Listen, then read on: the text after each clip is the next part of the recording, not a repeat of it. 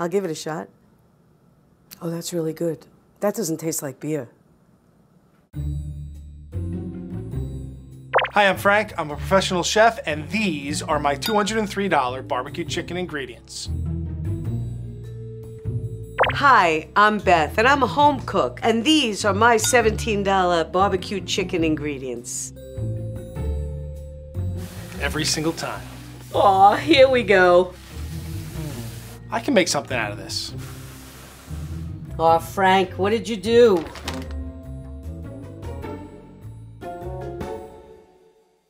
So I was planning on making a hickory smoked barbecue chicken with a fresh corn spoon bread. I had an organic heritage chicken that I was gonna break down into 12 parts That's gonna be the hardest part, I think. and dry brine with salt, paprika, and hickory powder. I was gonna smoke my aromatic vegetables on a stovetop smoker, add that to some chicken stock, some dark beer 14%? My husband would like this beer. to make my imperial stout barbecue sauce. My spoon bread was gonna be rich and delicious, made with fresh corn and masa harina. He's gonna have me make tortillas. I'm gonna smack him when I see him. My chicken was gonna be a smoky, caramelized, and glazed masterpiece. Just like a sculpture, you know? Chicken though. With Beth's recipe, I have simpler ingredients you might find in your pantry or your grocery store. They might be on the simple side, but with a little skill, little technique, I can make these delicious. If I had to guess, this tray would cost about $14. 17, come on, right? If I had to guess, this tray probably cost about $312. I overestimated, only $202. Chef Frank's recipe book. I'm scared. Hickory smoked barbecue chicken with fresh corn spoon bread. I've never heard of spoon bread. A few directions here. Butcher the chicken into 12 pieces, of course. Thank you, Frank. How am I gonna get 12 out of this? I like to start with cold meat when I'm butchering so it doesn't get all warm and squishy. I use a scissor because it's easier than a knife for me. I actually would consider the backbone one of the pieces. I love to eat the backbone. We'll have this little end piece as one of the pieces Frank was talking about. I'm not sure. This is the leg. I know that you cut it at the joint right through. Now I've got wings. This is just flimsy, so I know this is the thigh. Okay, so we're definitely gonna do the breasts in half. I don't know how to get 12 out of this. So we've got two legs, four breasts, two thighs. Do you want me to cut these little tiny wings in half? The wings are gonna be cut into two pieces, flats and drums. That's the only way to get 12. 1, 2, 3, 4, 5, 6, 7, 8, 9, 10, 11, 12. There you go, Frank. And this is for stock. I can only imagine Beth was going to make a simple grilled chicken with some barbecue sauce and a macaroni salad, but I think I'm gonna have a little fun with it and make some chicken skewers with Alabama white barbecue sauce and a toasted pasta salad. Here I have Beth's chicken thighs. I'm gonna take the skin off, I'm gonna take the bones out, I'm gonna crisp up the skin, I'm gonna use the bones and make a stock, and then the meat's gonna go on my skewers. Boning out thighs is really easy. Pop that skin off. I take my skin, and I'm gonna lay it out on a piece of parchment paper because I'm gonna crisp those skins up. And what I'm gonna do is I'm gonna pull the meat apart with my fingers like this. Rest the back of my knife on the bone. Basically just follow the bone on both sides. Get under the bone so my fingers touch. Take that out. If you have little pieces of chicken, they stay. And then bone in there.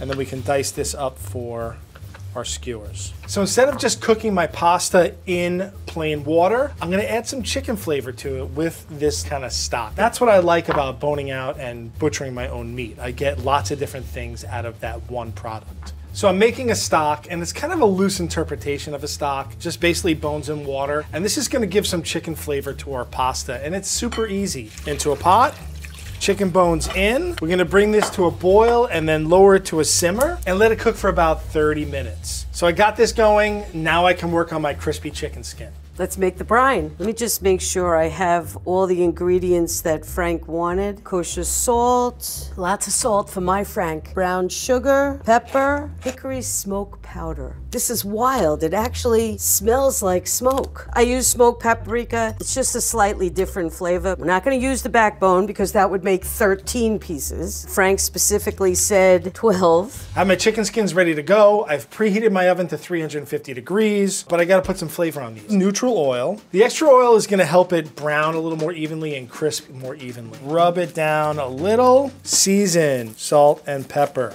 Right, I want it to be crispy and just a little bit of bite from that pepper. They're seasoned up. I'm gonna throw them in the oven at 350 degrees for about 25 to 30 minutes. This is gonna add a really nice crunchy texture to our final dish. That's what we want, nice crispy chicken skin. I think we're using the dry brine to add more flavor, and I really can't wait to see how that hickory smoke tastes. No other way to do this than your hands, I think. Set my chicken up to go in the fridge. It's really nice. It's a nice smell. Into the fridge.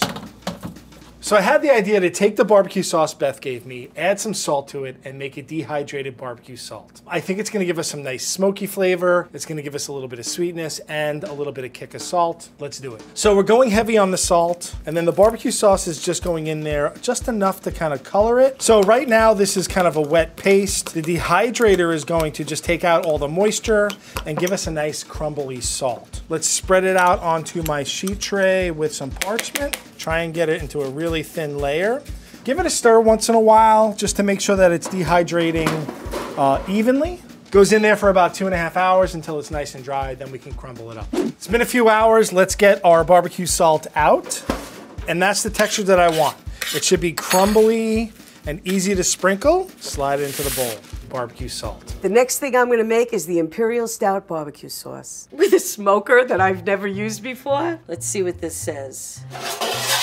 Hickory smoked chips in the center. Make sure your wood chips are fully burning and smoking before you put the veg on, just to get a nice smokiness into the vegetables. We don't want that raw wood flavor, we want some nice smoke. Onion. Oh, look at this. It's already starting to smoke. Garlic.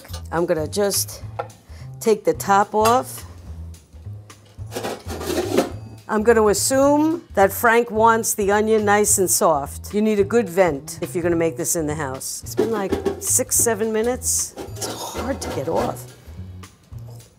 Wow, that's fabulous. Now it's time to make my Alabama white barbecue sauce. And it's a mayonnaise based barbecue sauce. It adds moisture, it adds acidity, it adds some flavor to our chicken. So a mayonnaise based barbecue sauce sounds crazy, but it's not really that crazy.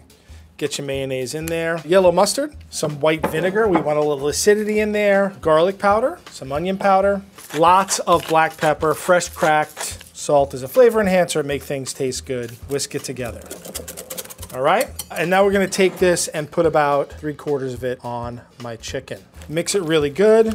So I'm gonna go throw this in the fridge, let it sit for an hour or two, and then we can skewer it up. I have never made barbecue sauce before. All good sauces start with sauteed onions and garlic, so I'm going to assume that that's what Frank wants me to do. So Beth, after the vegetables are smoked, you wanna put them into a pot, sweat them out with some oil just to get them soft and translucent. Eventually, I'm sure we're going to have to blend it up. Leave my garlic whole. So let me get the uh, stem part of the tomato out. I want the onions and the garlic to be soft. I'm Gonna put my tomatoes in.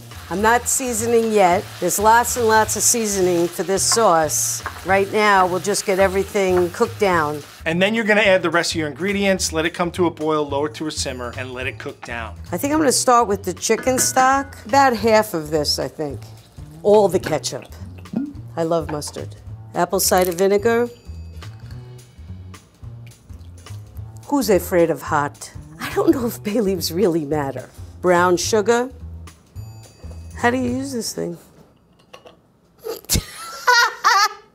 like that, and then Oh, gotcha. Okay. Maybe half a bottle. I'm just to cook this down slowly until it gets thick and syrupy. It may not taste exactly like Frank's, but it's to taste good. All right, it's time to skewer my chicken. I like to use metal skewers. Now they're reusable. You also get some heat transfer so your chicken cooks faster. I like to flatten it out a little so that I get kind of like a nice amount of surface area. Now I know there's gonna be a ton of haters out there saying this is not barbecue sauce. Get off your high horse, try it out, and I guarantee you're gonna love it. I like to kind of just flatten it out a little. If there's any leftover sauce, just brush it on. Now that my chicken is skewered, I can work on my toasted pasta salad. Now this smells heavenly. It's nice and thick. Get rid of that bay leaf. I'm gonna use this immersion blender This will take care of most of the big pieces. I'm just gonna use the immersion blender until it looks like everything is smooth, and it does right now. I'm gonna strain the sauce just to make sure that everything,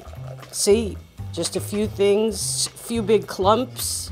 Frank should sell this. It's perfectly smooth. There are no more clumps. I'm gonna put some salt in here because he loves salt, and I like a little more black pepper, I think. That is so good. I'm done. Time to make the toasted pasta salad, and the first thing I need to do is toast my pasta to give it a little more nutty flavor. Preheat your oven to about 350. Pasta goes out onto your tray.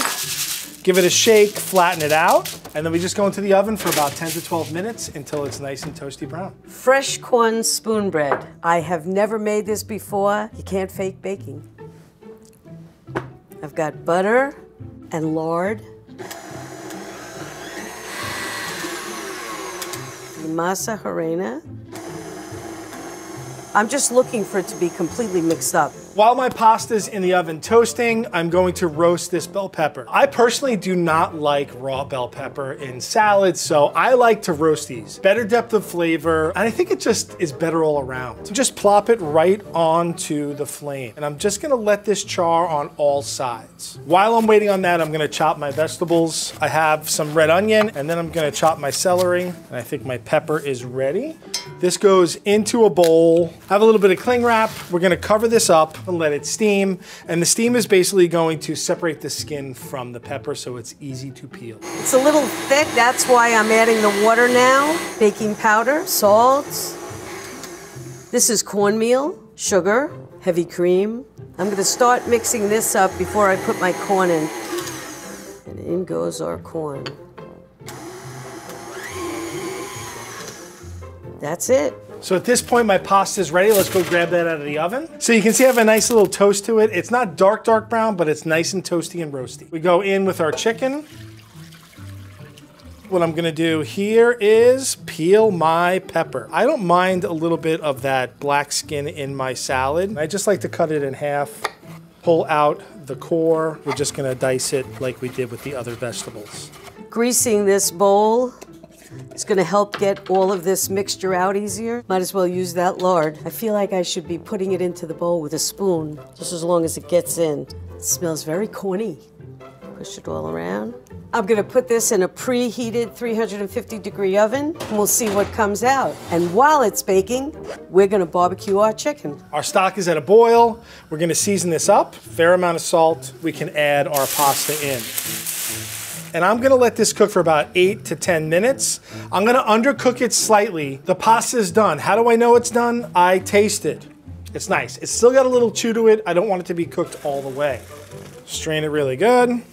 What I'm gonna do with this is I'm just gonna chill it directly on the tray. I'm gonna put a little bit of oil on it and I'm gonna spread it out and let it cool. This way I retain some of that chicken flavor. I retain some of that salt. I'm not just gonna rinse it off. Now we can assemble the salad. Season it up really well. Salt, pepper some neutral oil, a little bit of distilled vinegar. You don't want to go too crazy with this. Give it a good stir, and that's good. I'm gonna throw this in the fridge and let it chill, and in the meantime, I can grill the chicken skewers. I have a screaming hot grill pan. I'm gonna get this chicken on, skin side down. I'm gonna grill this chicken most of the way before I put the barbecue sauce on. It is time to grill my chicken skewers.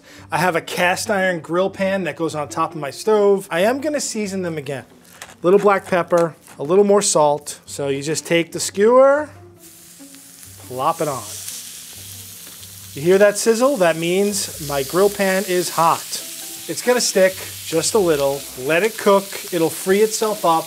And when it does, we can turn them. See how it came up nice and easy? You always know when you can turn because it will release. I think I can get a few more pieces on now. My little bitty wing pieces. Looking great, right? Nice grill marks. I think I'm gonna start saucing them. Get a little saucing. This smells heavenly. I'm gonna give a little bit of a brushing of the barbecue sauce just to kind of get it nice glazed on there. Dab it all over. Let's get that flavor on that chicken. Ooh, look at that, getting nice and caramelized. These are looking good. I'm gonna put them aside on the rack, let them rest. I'm gonna get the thermometer. This is done. I'm looking for 165 to make sure I don't serve chef some raw chicken. Now that my chicken's all done, I'm gonna go get my fresh corn spoon bread and we'll plate it all up. We finally have everything ready to go and we can plate. Whenever I do cold salads, I like to re-season. Flavors get subdued by cold. Needs more salt, needs more vinegar. What I'm gonna do is I'm gonna make like a line down the center of my plate so that my skewer will have somewhere to sit and make an X. This fresh corn spoon bread looks amazing. It's like a corn pudding. Get a leg and a breast, a little more barbecue sauce. Make it a little chefy. And I think we're good. Some of my barbecue sauce that I'm just gonna drizzle around so that we can dip our, our meat into it if we want. Barbecue salt. And then I have my chicken skin that I'm just gonna do really like big, nice chunks of chicken skin kind of hanging around. Here's my take on Chef Frank's hickory smoked barbecue chicken and fresh corn spoon bread. So here's my take on Beth's dish. Alabama white barbecue sauce chicken skewer, toasted pasta salad, crispy chicken skin, and some barbecue salt. It looks absolutely delicious. I hope Frank likes it. Hey Beth, how's it going? So, it's been a long time, huh? too long. I you know look you great. been. You look great too. You're an accomplished cook, so I know it wasn't that hard. I never made barbecue sauce Yeah. before, and I've never heard of spoon bread. Ooh. That's really pretty. Oh, th- thank you very much. you Not made even. this so much better. It's not even close to what you told me to do. But this looks great. It's simple. Uh, it's not complicated, and it's gonna be delicious. I know it. It looks nice and hot and ready to go. yeah, I want to try So let's that. try yours, and then we'll try mine. That is so good. That's delicious. It's tender. I want to try the, the spoon bread. It's a little sweet. I'd much rather put the sweetness in here than in the barbecue sauce. But this with the barbecue sauce. You know, just because I'm a chef doesn't mean everything needs to be fancy. This this like is like soul food. Like it makes you happy. You know. Ordinarily, I would Oh yeah. pick this up. So you've never used a smoker before? I've never used a smoker before. I love when I can get Beth to do things she's never done. It's just so great. There's a lot of love in this plate. I can see it. I ah, well, I love you. I really am excited to taste what you did with my ingredients. What do you think? That's beautiful. That's a beautiful plate. The macaroni is brown. We have a brown theme today. I worked at a Middle Eastern Mediterranean restaurant, and we used to toast our orzo, like brown, and then you cook it, and it kind of like has a nutty flavor to it. So I did the same thing with the elbows here. I used the mayonnaise for other stuff. I made a Alabama white barbecue sauce. Have you ever heard of that? No, what is Uh, this? Chicken skin. Chicken skin. Yeah, how's that? Oh man, that's good. It good. was like crispy chicken skin. I'm gonna try the pasta first. Try the chicken. See if it stayed nice and moist. Baking that macaroni really changes the Yeah, flavor. it does. I don't know if you can taste the barbecue salt on that. The mayonnaise is okay though. Mayonnaise is great. Barbecue party with Beth and Frank.